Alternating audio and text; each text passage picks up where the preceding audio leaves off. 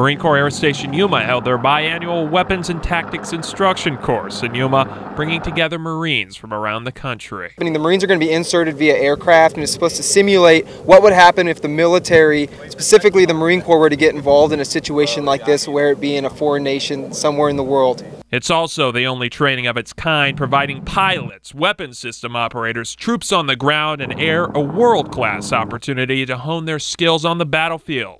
The WTI candidates are scored by their instructors on their performance. They're going to be observing everything from how the Marines exit the aircraft to how they interact with the role players. There are going to be role players here that are trained to come out and act as foreigners or act as the personnel that are going to be evacuated how they interact with them, how they handle these high stress environments, that's all going to play a factor into whether or not these instructors feel that they are ready and prepared to execute. Marine officials say that Yuma is the premier location for this type of training because of its perfect weather for aircraft and also because the community plays a big role in making this training possible. The city of Yuma has been a huge support in this, allowing for the Marines to come here and utilize these public facilities eh, as well as hospitals and schools and other centers. The Marines who complete this training are the best in the world. Only the top 10% of Marines ever complete WTI. These service members are considered vital to our country's armed forces and our safety. They are a huge asset to the Marine Corps. When they leave here, everybody